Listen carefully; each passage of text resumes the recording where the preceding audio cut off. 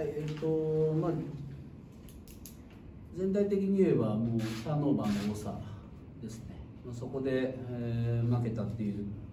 これはもう最大の範囲だったと思いますし、まあ、そのなぜそうなかなったかっていうところですね。結局、まあ、ボールプレッシャーを山田さんがかなりかけてきててで、まあ、あの見えないところでボール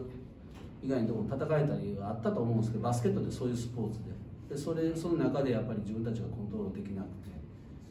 えー、いつもだったら20以上ねパスあのアシストが超えるようなバスケットができるはずなんですけどやっぱり今日冷静さは欠いててまああの自分たちのバスケットできなかったっていうところ、まあ、その要因はまあいろいろあったと思うんですけどやっぱり結局そのターンオーバーを増えるように自分たちが陥ってしまったっていうところが、まあ、今日の一番の範囲かなというふうに思います。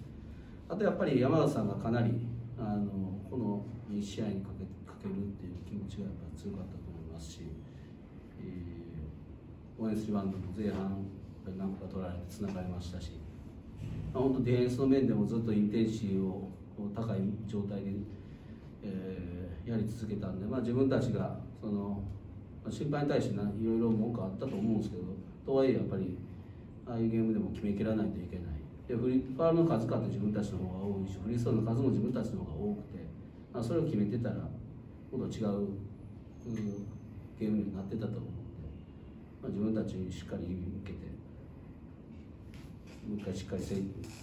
これで成長して明日のゲーム勝ちに行きたいと。